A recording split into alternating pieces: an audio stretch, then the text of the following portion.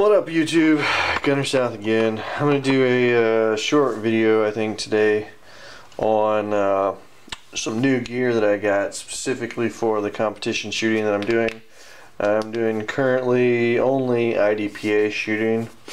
Uh, I've talked about it a little bit over in my other videos. You can check those out if you want. Um, going to be doing more of those videos in the future as I feel like uh, sport could always use more recognition and I think that's what people on YouTube are want to watch. Um, so one of the cool things about um, competition shooting uh, is one of the things that well you the people do is they will actually record their shooting with uh, a GoPro or what have you.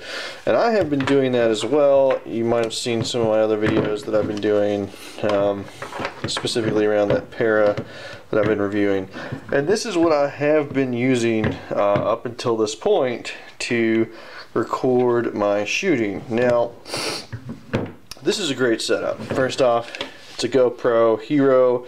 I think it's one of the early ones. Might be the Gen 1. It is in a uh, waterproof case with the forehead mount. Uh, been using it. Been using it for over a year and a half or more. Uh, never had any problems with the straps or anything. Never had any problems with the GoPro itself. It's always performed great, uh, especially if I remember to, charge the battery. Um, takes your standard SD cards, got your uh, typical plugins for battery and HDMI and streaming. Takes your video, your uh, SD card right there. You turn it on and then you record. That's the only really function I've even bothered to do with it. It's in 1080p and it works great.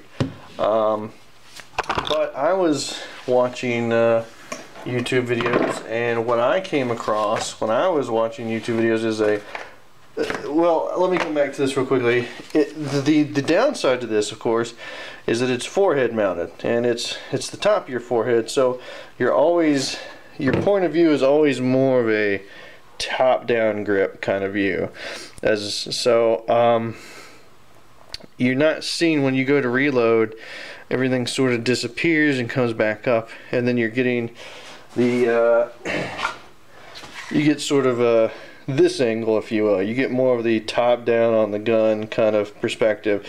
It does help um, but you're not getting you're looking it's, it's more like a first person shooter I guess I would say or at least like the more Doom Wolfenstein kind. so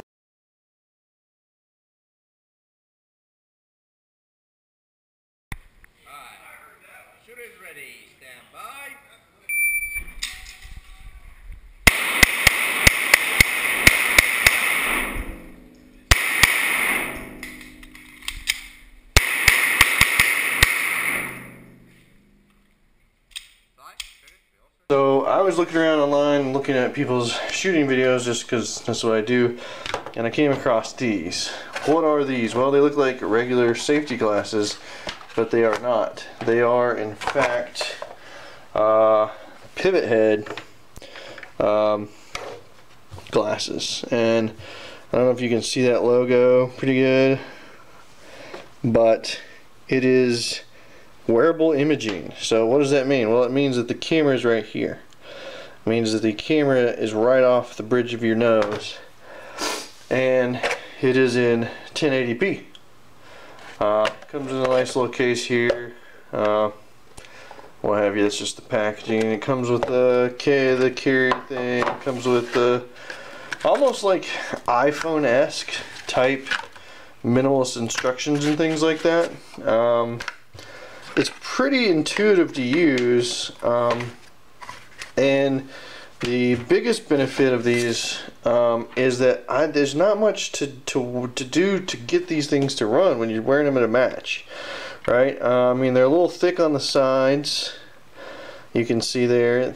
And um, but you know compared to your typical safety glasses I mean you, you're not setting any fashion statements right? I mean these are actually the ones I wear while I reload uh, due to the federal primers. You should always wear uh, eye, eye protection even while you reload. But these um, these are the Durango version. Uh, they actually make a um, safety glasses version, so I'm probably not getting as much protection as I need to out of these.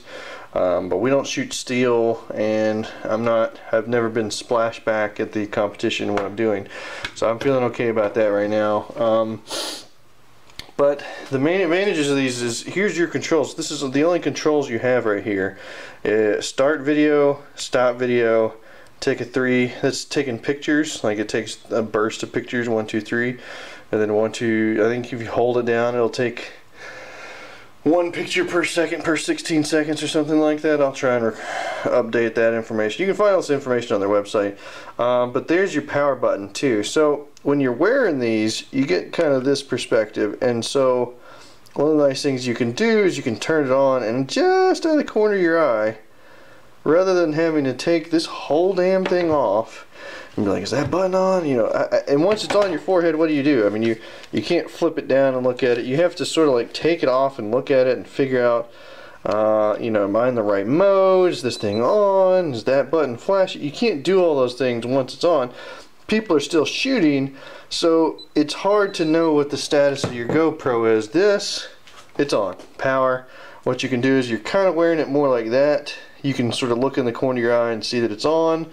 Um, uh, or kind of pull them out and see. And then when you actually record video, you can uh, push this, again, that button right there, and press it, it kicks it off, and you can kind of just like, you're wearing them, pull it out, I see that that's flashing, so I know I'm recording, you're good to go. So the use of these is ultra simplistic and that is a huge advantage when you're really trying to get ready for your stage. You're really trying to get ready to, to shoot. You don't really want to be worried about your, your camera um, so with these things on, you just uh, turn them on and go. Um, I will uh, show some more video. I've actually worn these for a couple weeks now, and you can see the um, the videos they are. The greatest advantage, of course, is that you don't get a down. You don't get this angle while you're wearing them because that would require that you know it'd be so. But it's over the middle of your eye. So if you're a right eye dominant guy, you get kind of this this view. It's a little above. Um, but if you're coming around a right-handed barricade and you're turning your whole thing, you'll actually get kind of this view, and it's it's a hell of a lot better. And you can see when you do your reloads, it's more of like a right here angle. Um, by the way, that's it. So you get more of this this like right there when you're shooting. You can see the action a little bit more. I mean, it's a little further out. Don't get me wrong. Watch the videos but it is a more down the sights picture than any other GoPro that I've seen, any other video recording thing that I have seen. So for that, it's great. Shooters ready, stand by.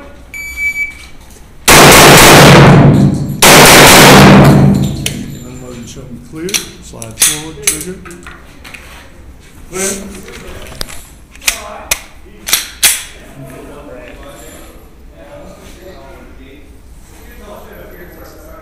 Okay.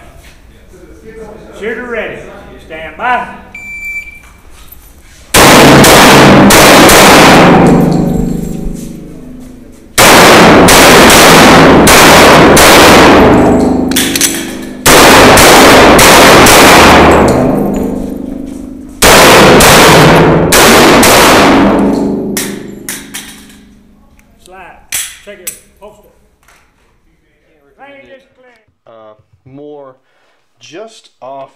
It's set up and where the camera is.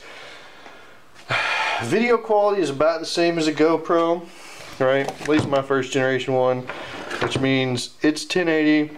It's a little grainy. They actually offer the um, a 720p resolution at a higher refresh.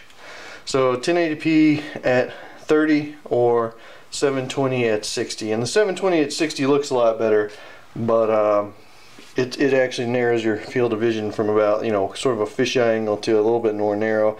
And I never really run it because I'm always afraid that uh, I'll miss the action. And that, that is the other big that's so so I've talked about how good it is. Let's talk about where it could be improved. One all right you see where this thing is located. Uh, one of the things that you have or could run into, and I, I did a little bit, is that when you're shooting this thing, if you like to tactical turtle, if you like to put your head down a lot, and while you're shooting, you like to really, you know, sh- shrug your shoulders and dip your head, there's a there's potential you'll get this angle. There's potential that you'll be looking at your forearms because rather than looking down the sights like you should, sort of like that, you're actually sort of hunching your head, and so the whole camera is being tilted down. So if you're not careful, you'll actually be looking at your forearms rather than sort of above your gun where you're supposed to. If you keep your face flat and not tilted forward, you're going to be okay. So keep that in mind. Um, Jerry uh, Miculek says to shoot flat face. So I actually took that as sort of a wake up call to stop doing the tactical turtle. If I if, if I didn't get it in view, it was my own fault because I, you know, bowed up too much because that's not sustainable. All right, this is uh, the same 3.9 tight group through a uh, Glock 41.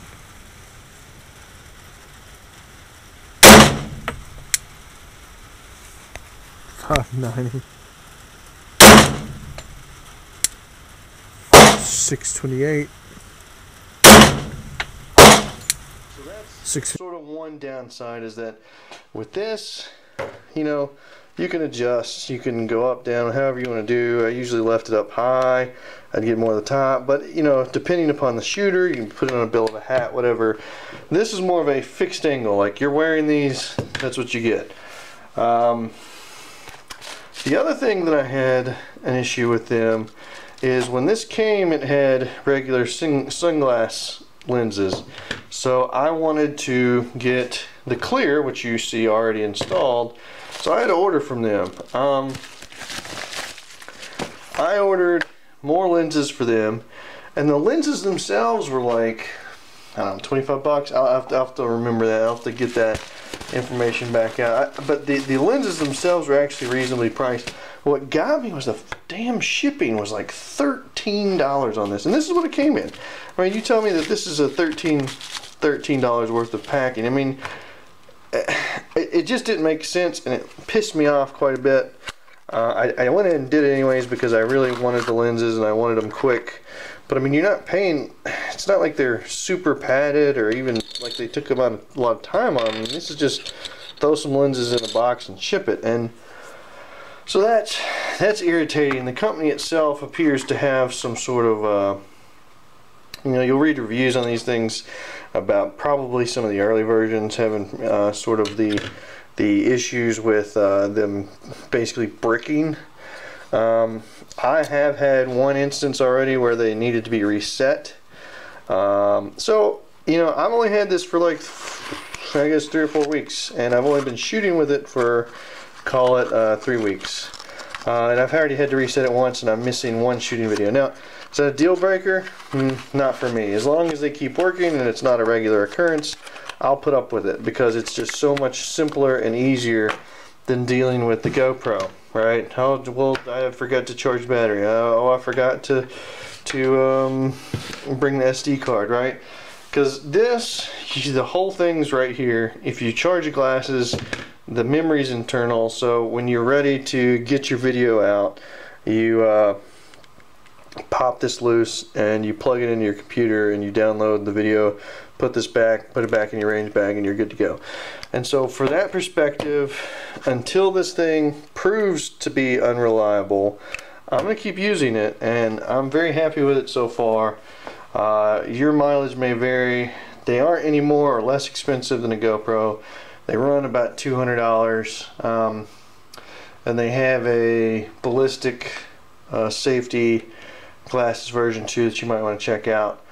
Uh, but I just want to do a quick review of uh, the Pivothead glasses Durango model that I've been using for the last couple of weeks for shooting and shooting in the IDPA.